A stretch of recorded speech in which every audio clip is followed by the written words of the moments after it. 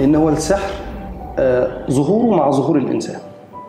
مع بداية الإنسان. مع بداية الإنسان. okay. يعني آه، حتى إحنا مثلا في القرآن على سبيل المثال آه، ارتبط بالحضارات القديمة السحر. يعني في قصة سيدنا سليمان وما كفر سليمان ولكن الشياطين كفروا يعلمون الناس السحر وما أنزل على الملكين ببابل هاروت وماروت. هاروت وماروت. وما يعلمان به من أحد إلا يقول إنما نحن فتنة فلا تكفر.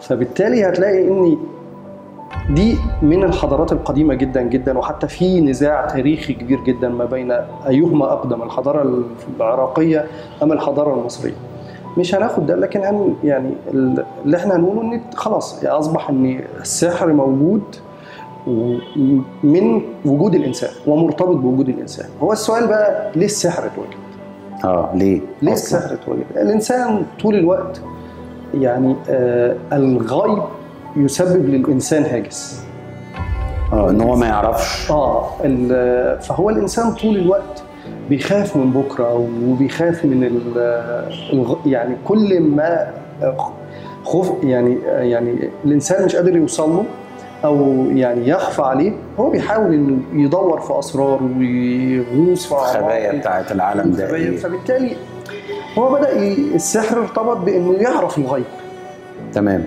عايز يعرف بكرة تطلعي. إيه تمام. وانتقل بقى إن أنا أسخر السحر ده مم. إلى إن أنا أستخدمه ليه؟ إنه يجلب لي قوة يجلب لي سعادة. مم. اداه من أدوات الشر. يعني فبالتالي طبعا. آه، أصبح وجوده مرتبط بالإنسان. فده تاريخ يعني تاريخ السحر تاريخ طويل جدا. حتى إحنا لو بصينا التاريخ ده اتطور يعني كان السحر له شكل وبعد كده بقى له شكل وبعد كده له شكل. هو ال- السحر أعتقد إنه لا يتطور. هو بنفس شكله هو بنفس شكله. ولكن تتغير يعني تتغ... يعني السحر في حاجة عجيبة جدا. هو آه، مش مرتبط بلغة ولا مرتبط بجنس. أنا كنت لسه هسأل حضرتك على قصة اللغة دي. آه. مم. هو دي الحاجة الغريبة اللي فيه. يعني, يعني لغة السحر دي لغة ما ملهاش تطور حتى؟ لا هي بتتطور. تمام. هي بتتطور وتناسب كل عصر حتى الطلاسم اللي موجودة في السحر آه. كل عصر وليه طلاسمه وليه ولكن يعني الطلاسم دي برضو في يعني أسس وفي حاجات علشان ال- الطلاسم دي. و- والسحرة عارفينهم يعني يعني عارفين الكلام ده. فبالتالي السحر آه، عالم كبير جدا جدا. الغوص فيه يعني أعتقد إن هو من الأمور الصعبة جدا جدا. السحر هو آه، يعني أنا بعتقد إن هو نقطة اللا عوده لأي إنسان. يعني. أي إنسان بيمتهن السحر أو يخش عالم السحر هو ده نقطة اللا عوده خلاص دخل يمتثل في لاوامر والعوالم الأخرى. اللي أنا أعتقد إن هي موجودة. ولا يعني وأعتقد الناس كتير برضو زيي بيؤمنوا ان هناك عوالم أخرى وهناك يعني آه، عالم خفي وعالم سفلي آه، موجود وتأثيراته موجودة جدا. يعني حتى إحنا مثلا مع فتح مقبرة آه، توت عنخ آمون وهي يعني ال- النظرية الأكبر لأصحاب إن السحر بيأثر ومستمر على مدار سنين طويلة جدا. في مقبرة توت عنخ عنخ آمون هي من المقابر الغريبة جدا لأن هي كانت مقبرة مختومة.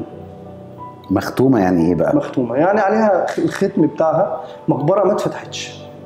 ما حاولش أي شخص على مدار التاريخ كله إنه يقرب أو يوصل لمقبرة توت عنخ آمون. تمام تمام. فاول مجموعة فتحتها اللي هي مجموعة اللورد كارنرفون اللي هو كان ال- يعني الراعي الرسمي أو الراعي الرئيسي لعملية ال- الاكتشاف اللي هو قام بيه كارتر. ف آه، كارنرفون لما بدأوا يفتحوا ال- المقبرة آه، هم دخلوا كلهم. وطبعا يعني كانت هناك تحذيرات من ان ما ينفعش إن إحنا نخش المقبرة مباشرة ولكن هم يعني كان عندهم جرأة وجسارة على الحضارة الفرعونية فدخلوا. وكل اللي دخلوا المقبرة في الوهلة الأولى آه، حصلت لهم حوادث مرعبة جدا جدا جدا. كان أول واحد كان اللورد كارنرفون هو اللي كان داخل أول واحد. آه، وبعدها ما كملش سنة يعني المقبره اكتشفت في 1922 في 1923 آه، مات ومات بحادثة يعني بواقعة غريبة جدا. يعني أنت تستغرب لها إن هو آه، قرصته ناموسة. بس. بس. فقرصته ناموسة فتاني يوم بيحلق دقنه. فجرح القرصه. فالقرصة تحولت إن حصل له تسمم في الدم. مجرد كده بس آه بس فكان في الاقصر يا دي اللي هي لعنة الفراعنة اللي هي يطلق عليها يعني لعنة آه الفراعنة فيعني أعتقد ان ان ان من أكتر الناس مش أعتقد ده مؤكد يعني طبقا للقرآن ان من أكتر الناس اللي كانت السحر منتشر في. اوساطهم.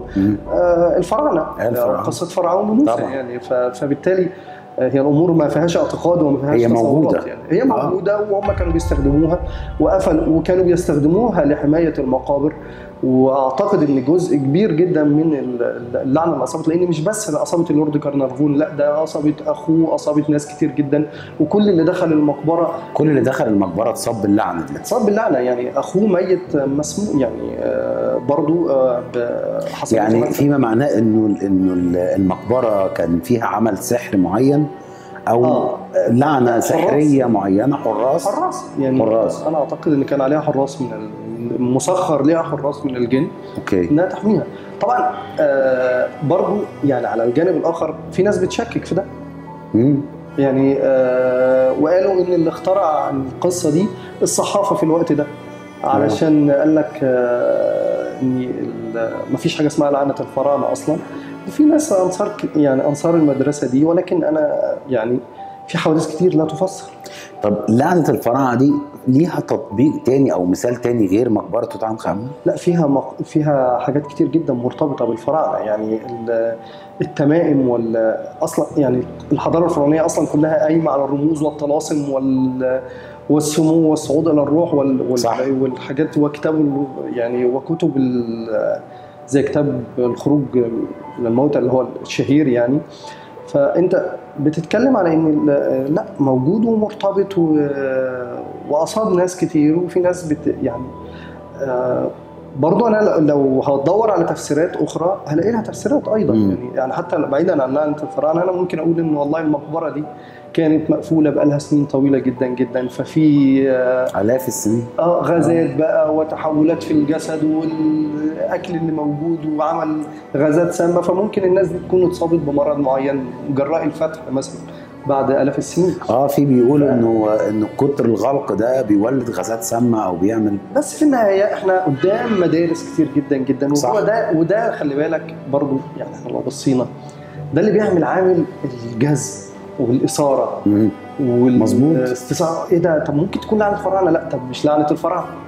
آه طب ممكن يكون في جن أو في عفريت أو في لا مفيش ومفيش حاجة كم من الكلام ده. أكيد يعني. فكل ده بيخ- بيخلق حالة من الجدل وعلى الجانب الآخر. بيخلق هيبة و- وخوف وفزع من الجانب ال- الآخر يعني. آه. فانت فالسحر موجود طول ال... من البداية خالص. تتحدث عن عالم غيبي وعالم خفي. صحيح. والإنسان دايما ال- زي ما قلت لك إن ال- الغيبي والخفي بيخليه آه، يعني دايما متشوق يعرف ما وراء الحدث. صح.